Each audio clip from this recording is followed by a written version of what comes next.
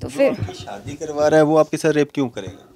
Sir मुझे नहीं पता उन्होंने ऐसा क्यों किया बट अब बात में हमें सामने आ रही है कि जो भी उनके क्लाइंट्स होती थी औरतें उन्होंने उनके साथ भी वैसा ही सब किया हुआ है और कईयों ने तो उनके पास प्रूफ भी पड़े हुए हैं। तो फिर उन्होंने मेरे साथ वैसा काम किया उसके बाद मुझे लड़के के साथ ज़बरदस्ती घर भेज दिया उसके हाँ जी सर फिर ढाई ढाई तीन महीने मैं वहीं लगातार रही मार पीट खाती रही। लड़का मुझे भी मारता था अपने ये दुख है कि मैं गोबर और बालन बेच बेच के भी अपनी बच्ची को पढ़ाती थी। लेकिन इन उन दोषियों ने इसके साथ ऐसा काम किया जो एडवोकेट बब्बर है। इसने भी इस लड़की के साथ रेप अपने घर में और अपने चैम्बर में किया है। और दो ढाई महीने उस लड़के के साथ भेज दिया। मुझे नहीं पता है। देख रहे न्यूज़ सर इंडिया और मैं हूँ अरफाज अहमद डैंग। हमारी जम्मू कश्मीर पुलिस जो है, काफ़ी एक्टिव है। कभी कभी तो जब मामला कोई सामने आता है, कोई कंप्लेंट आती है, खासकर दुष्कर्म के मामले हैं या पास्को के मामला आते हैं, एक दो घंटे के अंदर ही जो हैं, मुलजिम हवालात में होते हैं। लेकिन एक मामला सामने आ रहा है, डिस्ट्रिक्ट कठुआ से, जिसमें पुलिस तो पहले कंप्लेंट दर्ज करने ही नहीं वाली थी और जो एसएचओ साहब हैं, वो वहाँ पे अपने थाने के अंदर, बनी थाने के अंदर जो है, कंप्लेंट ही दर्ज नहीं करते हैं। और ये जो दुष्कर्म जिनके साथ हुआ है, उनकी माताजी हमारे साथ मौजूद हैं। वो बच्ची खुद यहाँ पे हमारे साथ मौजूद हैं, जो कि माइनर हैं। वो एसएसपी कठुआ के पास जाते हैं। उनके निर्देशों के बाद भी जो है बनी एसएचओ जो है वो पर्चा जो है वो नहीं लगाते हैं और ये कोर्ट के द्वारा, कठुआ कोर्ट के द्वारा जो है पर्चा लगता है। और पर्चा लगता है सोलह पाँच दो हज़ार बाईस को और सेक्शंस जो लगती हैं वो तीन सौ छहत्तर, तीन सौ तरतालीस तीन सौ तेईस, एक सौ नौ लगती हैं और चार और छः पास्को भी लगता है इसमें। सोलह पाँच दो हज़ार बाईस से लेकर के आज तक जो इसमें अक्यूज़ड हैं, जिनके नाम मैं आपको बताना चाहूँगा विशंत आनंद सनाफ विनोद आनंद हैं, जो बनी के रहने वाले हैं। कुलदीप सिंह हैं, पवन बब्बर हैं, और ये भी बनी के रहने वाले हैं, और सबसे ख़ास बात, ये एक एडवोकेट हैं। इन पे ये इल्ज़ाम है कि इन लोगों के द्वारा जो है, इस बच्ची के साथ जो माइनर है, इसके साथ रेप किया गया है, और अभी तक जो अक्यूज़ड हैं, वो पुलिस की गिरफ्त से जो हैं, वो बाहर हैं। हमारे साथ बच्ची मौजूद है, उसकी माता जी यहाँ पर मौजूद है, पहले माता जी से बात करते हैं। मैम, क्या पूरा मामला है? क्या हुआ था? आज तक क्यों नहीं वो जो आरोपी हैं, उनको पुलिस गिरफ़्तार क्यों नहीं कर पा रही है? क्या पता है, पुलिस जाने।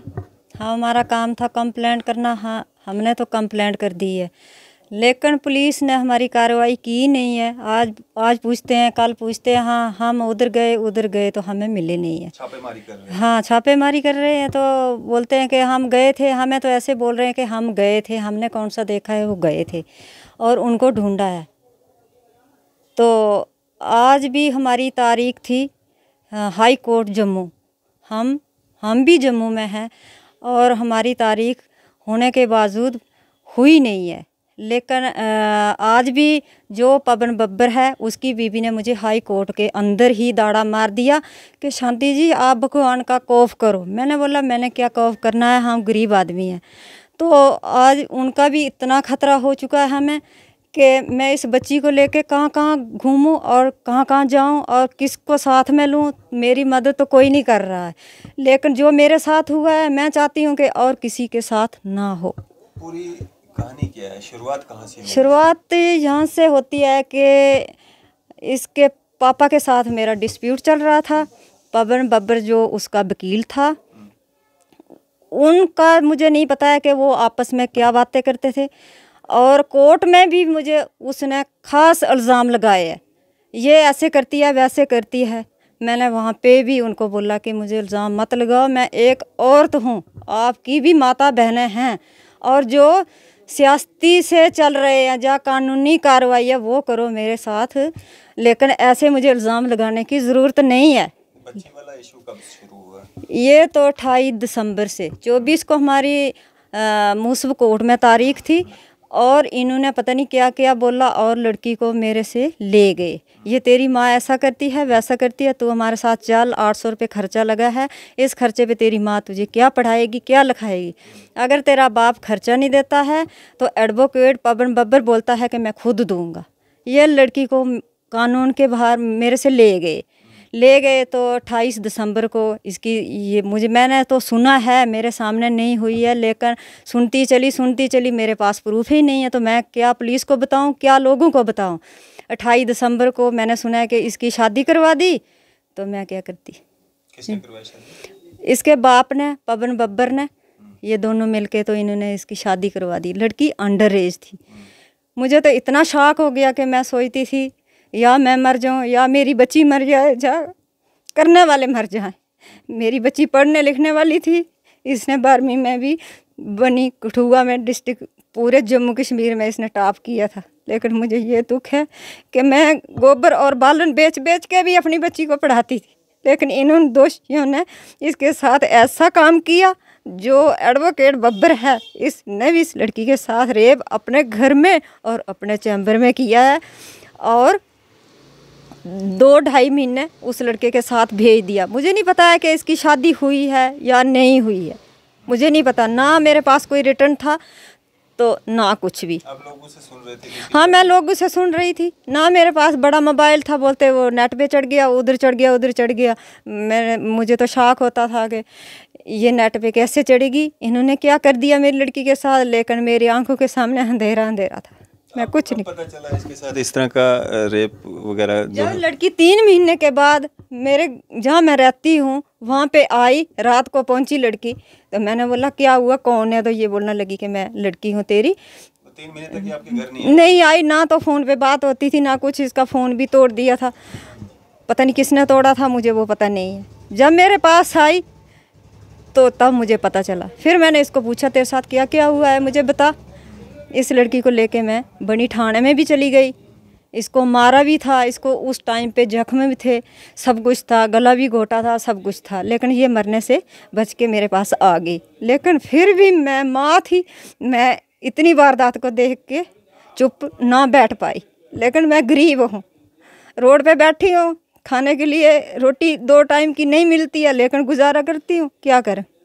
तो इन्होंने मेरे साथ ये किया। मैं बनी पुलिस स्टेशन भी गई, जम्मू एसएसपी के पास भी गई कठुआ में। मेरी सुनाई वहाँ भी नहीं हुई। लेकिन मुझे मजबूर होके कोर्ट में जाना पड़ा। तो कोर्ट ने मेरी थोड़ी सी सुनाई कर दी। अब मेरे खिलाफ हाई कोर्ट में भी पता नहीं क्या क्या हो रहा है, मुझे वो समझ में नहीं आ रहा है। लेकिन मैं क्या करूँ? जब आपका एफआईआर दर्ज किया गया उसके बाद लड़की का एक सौ चौंसठ का बयान होता है मेडिकल होता है वो सब हो गया? हाँ मेडिकल भी हो गया मेडिकल हुआ है बसोली में। जो एक सौ चोट का बयान है वो हुआ हुआ है बनी मुस्व कोर्ट में। अच्छा आपसे जानना चाहेंगे क्या पूरा मामला है? ये शादी का क्या मामला है और उम्र कितनी है आपकी? सर मेरी उम्र सतारह साल है। अभी अब सतारह साल हाँ जी।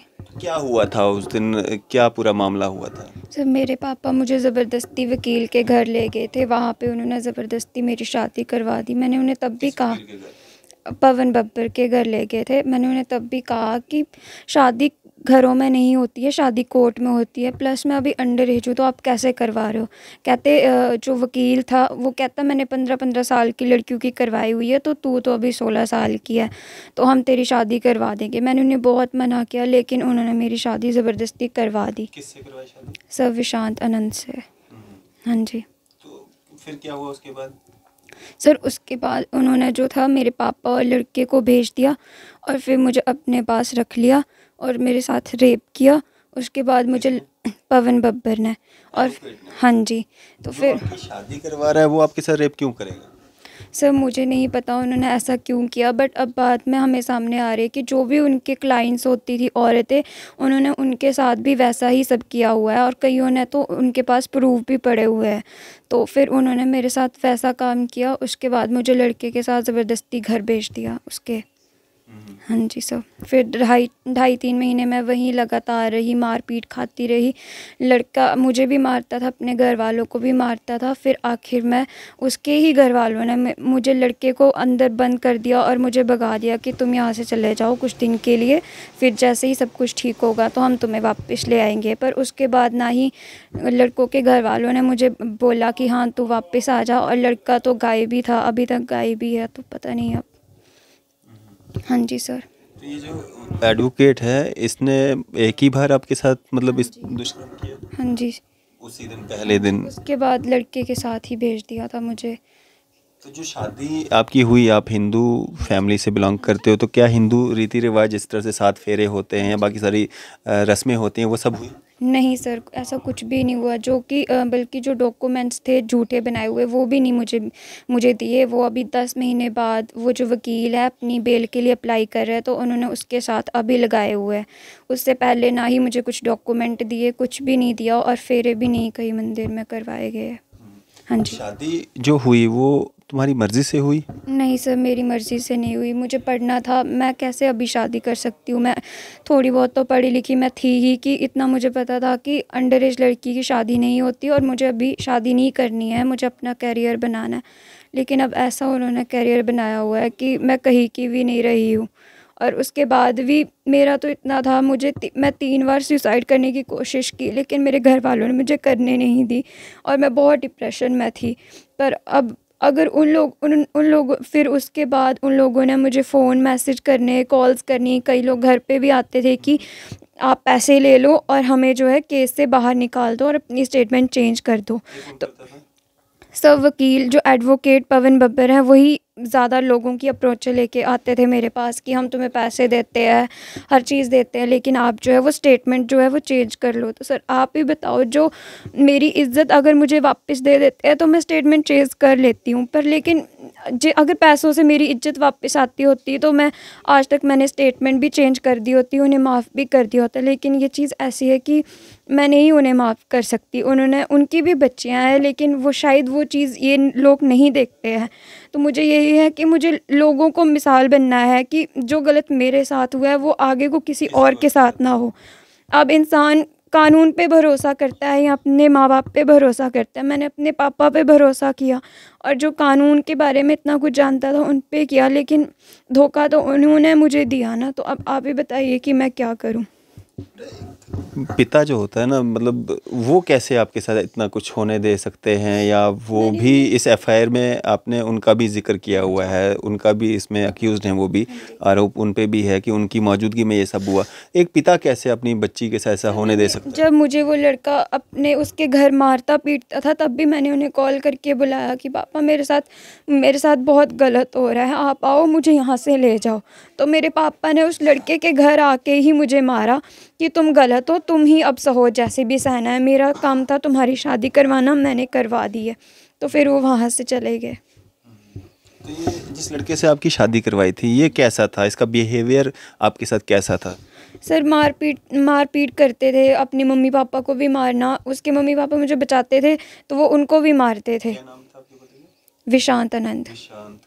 हाँ जी। तो मतलब कोई नशा वगैरह लेते थे? जी सर दारू पीते थे। अच्छा। हाँ जी। हाँ जी। तो रोज़ दारू पी के मार पिटाई करना। हाँ जी सर। फिर आप वहाँ से निकले कैसे?